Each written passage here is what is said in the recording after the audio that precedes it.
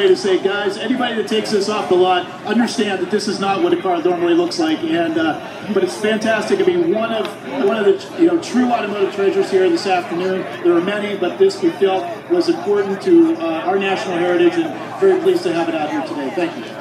Thank you very, very much. John, thanks so much and congratulations. Yes, absolutely. I know the Kugel family and everybody there are going to be so proud.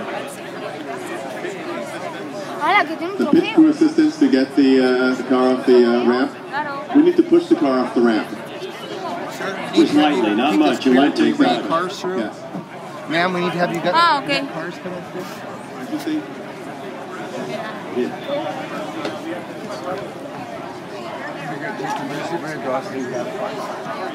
Did you